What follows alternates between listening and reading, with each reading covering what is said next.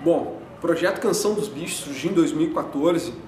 É, é um projeto do DENIT, realizado pela gestão ambiental da duplicação da BR 116392, e ele é uma junção dos programas realizados pela nossa gestão: educação ambiental, comunicação e os projetos ligados de fauna e flora.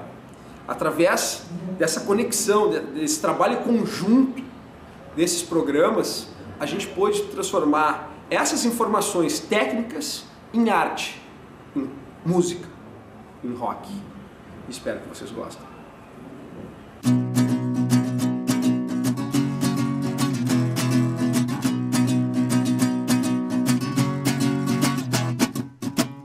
Sem tocar em suas faixas, vi cruzar a rodovia. Atravessou com segurança, era tudo.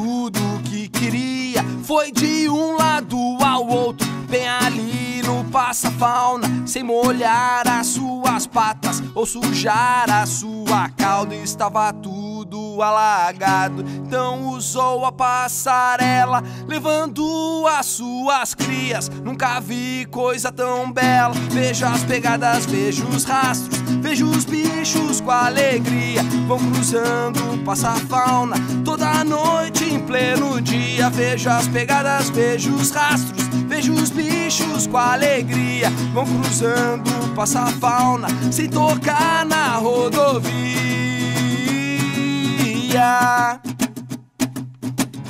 O furão passou correndo, o tatu vem logo atrás. O gambá ficou cheirando o rastro de um outro animal. Tem o sorro e o mão pelada, vi até um gato do mato, passa anfíbio.